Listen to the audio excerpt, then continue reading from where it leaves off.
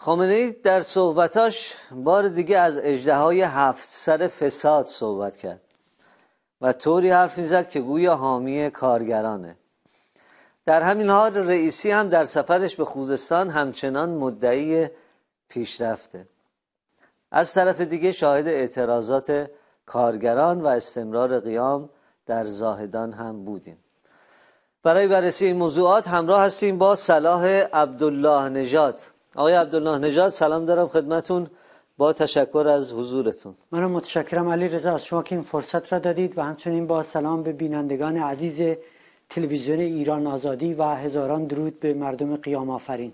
درود به شما.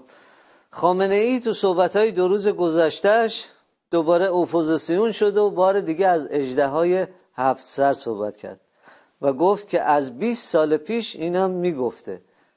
خب سوال اینه که پس اگه اینطوره چرا تا به حال چیزی حل نشده بله خامنه ای توی صحبتاش همونطور که اشاره کردید گفته بود که در واقع باید همه جانبه با فساد مبارزه کرد و هفت سردار و اگه یه سرش بکوبی شش سر دیگه دوباره کار می‌کنن و اگر دولت ها به حرف من گوش می‌کردن وضع بهتری داشتیم و از این حرفا ولی خب واقعیت چیه؟ واقعیت اینه که این فساد در درون رژیم هفت سر نیست یک سره اونم در بیت خود خامنه یعنی یک سر داره. بقیه شعبه ها دیگه باز وابسته به خود خامنه هستن مثل باند مافیایی سپاه پاسداران و سایر ارگان های رژیم. یا مثلا وزیر وزارت صنعت. مثلا همه امروز جلسه علنی مجلس بود. وزیر صنعت داشتن استیزا می‌کردن. واقعا این به اصطلاح نماینده های مجلس رژیم مجبور بودن برای حفظ جایگاه خودشون یک سری اعترافاتی می‌کردن نسبت به این جرم و جنایت که در وزارت صنعت و معدن و تجارت رژیم اتفاق میفته که واقعا سرسام آور بود و سر آدم سوت می‌کشید. از ابعاد کشت و کشتارهایی که تو جاده ها میشه به خاطر همین به اصطلاح فرسوده بودن ماشین ها که تماما داشتن خودشون اعتراف می‌کردن که عاملش برمیگرده به همین وزارت سند و همین رئیسی جنایتکار. بنابراین این باندای مافیایی تماما به بیت خود خامنه ای وسند و این اجده ها هم یک سردار اونم خود خامنه ایه بله ما تشکر از شما. حالا خامنه ای درباره کارگران بریم. طوری حرف می‌زنه که انگار حامی کارگرانه و خواستار حل مسئله کارگرانه. ولی کسی حرفشو گوش نمی‌کنه. آیا واقعا همینطوره؟ خب نخیر به هیچ وجه اینجوری نیست. خب خامنه ای ولی فقیه رژیمه. و این ولی فقیه در این دستگاه رژیم خب حرف آخر رو در تمام زمینه ها می‌زنه. از مسائل اقتصادی اجتماعی سیاسی روابط خارجی و هر کدوم از دولت های قبلی هم که سر کار بودند باز همینطور بوده. یعنی خامنه ای در واقع حرف آخر می‌زنه.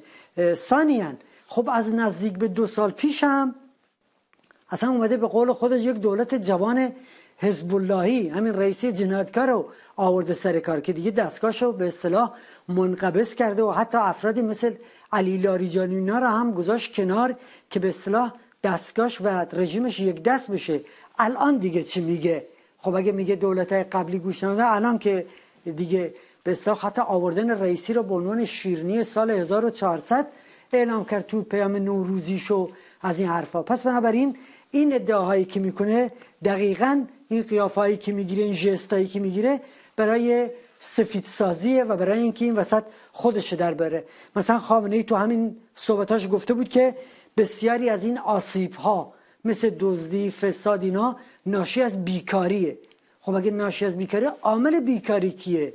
خب همین رژیمیه که در رأسش همین ولی فقیه که الان چندین میلیون بیکار ما داریم که اگر خانوادهاشون حساب بکنیم ببین چه وضعیت در واقع فلاکتباری.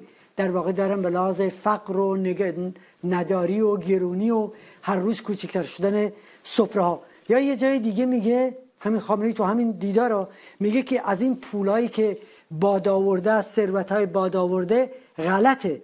باید فرهنگ ثروت باد آورده رو در کشور متوقف بکنیم. ولی البته بلافاصله در جواب خودش یعنی یک جمله بعدش میگه که البته این به معنای این نیست که فردا دستگاه های دولتی یا بنده بیایم بتونیم این کار انجام بدیم. خب اگه نمی‌تونید انجام بدید گفتنش اصلا چه مسئله حل می‌کنه؟ ضمن اینکه به این دلیل نمی‌تونید انجام بدید چون اون ثروت های باد آورده عامل اصلیش خودتونید. یک قلم یکی از این روزنامه های رژیم روزنامه صنعت رژیم. روز دوازده خرداد سال 99 اعتراف کرده بود که ثروت های خود شخص خامنه ای هزار میلیارد دلاره. یعنی باد آورده یعنی همین که خودش میگه ولی خب خودش هم میگه من از پسش بر نمیام. حالا در این گیرودار همین دیروز خبر این اومده بود که رژیم می‌خواد چهار هزار کارگر اعتصابی طرحهای پارس جنوبی رو در واقع اخراج بکنه و تهدید کرده بود. از جمله همین اسدی که مدیر عامل رژیم در سازمان منطقه پارسه گفته بود که از روز پنجشنبه هفته جاری ما می‌خوایم چهار هزار کارگر جدید رو جایگزین بکنیم. بعدش هم نقش ولی فقیه این وسط خیلی مهمه. چون همین نفر استناد کرده بود به حرفای ولی فقیه که گفته بود امسال سال تولید است و بعد خلاصه نباید تولید. متوقف بشه و اعتصاب اینا نباید بشه یعنی در واقع نقش ولی فقیه در اقدامات ضد کارگریش بسیار بارزه. برخلاف پوزی که گرفته بود که انگار که حمایت می‌کنه از کارگرها و اینا. از اون طرف روزنامه حکومتی اعتماد همین روز شنبه دیروز نوع اردیبهشت گفته بود که اعتصابات کارگری همچنان گسترش داره پیدا می‌کنه. تعداد کارگرای معترض بالای ده هزار نفرن و واقعیت هم اینه از اون طرف می‌بینیم که نرخ تورم در سال 1401 57 درصد بوده در حالی که رژیم امسال دستمزد کارگرانه که باید متناسب با نرخ تورم افزایش می‌داد اومده فقط 27 درصد افزایش داده. یعنی باز هم فقر و نداری و گرسنگی بیشتر برای کارگران. حالا تو همین رابطه خوب اشاره هم بکنم به صحبت های حسین راغفر اقتصاددان حکومتی که صحبتش منتشر شده بود گفته بود این که ما میایم اینجوری هزار هزار کارگرا رو در واقع اخراج می‌کنیم. اشارهش به اخراج همین چهار هزار کارگر بود. می‌دونید که این نشون دهنده ناامنی شدید وضعیت نیروی کاره و یک نوع همدلی در جامعه با کارگران به وجود میاد و خود این باعث میشه که اعتراضات و تظاهرات و نارضایتی ها در جامعه بیشتر و بیشتر بشه. و برخلاف ادعای رژیم در واقع نتیجه عکس میده. چون رژیم می‌خواد اخراج بکنه که جلوی اعتصابات بگیره ولی این در واقع عکس عمل می‌کنه. بله. حالا رئیسی رئیس جمهور خامنه ای هم جمعه سفری به خوزستان داشت. بله. اونجا چی گفت؟ و بالاخره حرف حساب و حرف اصلی و نگرانیش از چه بابت بود؟ در چندین سخنرانی که رئیسی در شهرهای مختلف استان و خوزستان داشته هر روز و در هر سخنرانی چندین دروغ بزرگ و در واقع به هم میبافت. اصلا هم آبایی نداشت از که این آمارهای غلط و دروغهای نجومی رو در واقع در بین مردم مطرح بکنه چون به کسی هم اصلا حساب پس نمیده. در حالی که همه می‌دونن در همین یک سال گذشته رکورد در واقع رکورد تورم و فقر و فلاکت در پنجاه سال گذشته رو تو دولت رئیسی زده. یعنی سقف در واقع بالا برده. بالاتر در پنجاه سال گذشته رکورد زده. یا از اون طرف ولی خب میاد ادعا می‌کنه میگه پیشرفت های ما حتی برای دشمنان ما هم خیره کننده بود. یعنی از جمله دروغایی که می‌گفت می‌گفت مقامات مسئولین عالی یک سری از کشورها اومده بودن می‌گفتن ما تعجب می‌کنیم ایران چرا علا رغم این همه تحریم ها؟ بازم این همه پیشرفت داشته. یا تو آواز می‌گفت کاری که در این یک سال و چند ماه گذشته انجام شده کاملا داره برابری می‌کنه با کاری که در سی سال گذشته مثلا در فاضلا و اهواز انجام شده. از این آمارها و دروغا.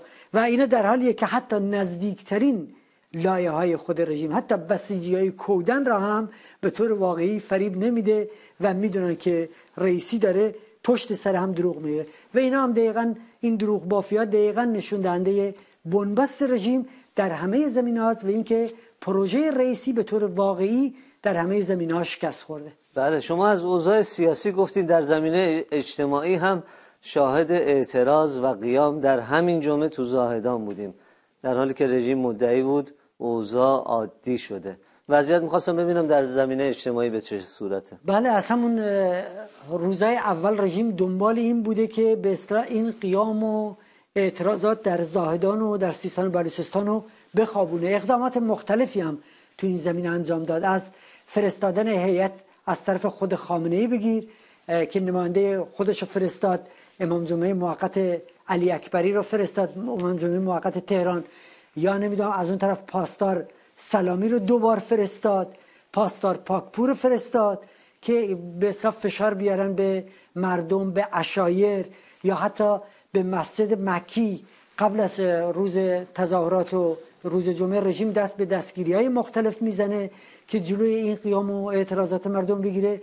ولی باز هم شاهد هستیم که کماکان این قیام ادامه داره. شعارهای کوبندشون مرگ بر ستمگر پلاکاردهایی که داشتن مرگ بر ستمگر چه شاباشه چه رهبر یا مرگ بر خامنه ای مرگ بر دیکتاتور خامنه ای قاتل ولایتش باطله.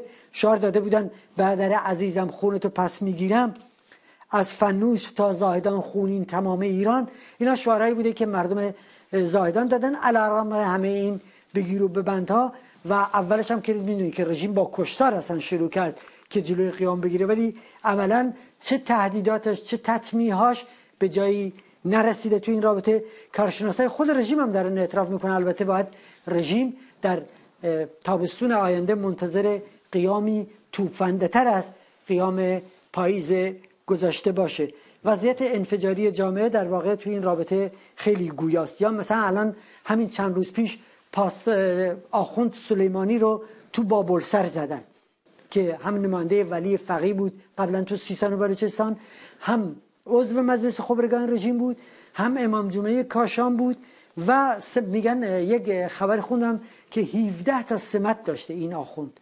که خب دیروز هم مراسم به به گورس سپردنش توی قوم و اینا بود و سوز و گدازایی که آخوندهای رژیم توی این مراسم کردن.